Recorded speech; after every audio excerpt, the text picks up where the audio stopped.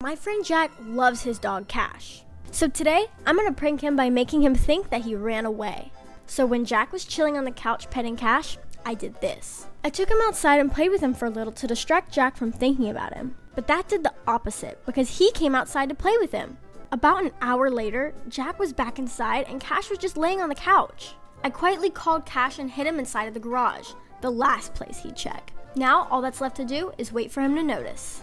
I waited patiently for two hours, but he still didn't realize. So, Jack, have you seen Cash? Uh, no, why? I haven't seen him in like hours. Really? Yeah, Where is he? I don't know. What'd I you do with him? For, I didn't do anything. Cash! Cash! All right, I'm just gonna call 911. No,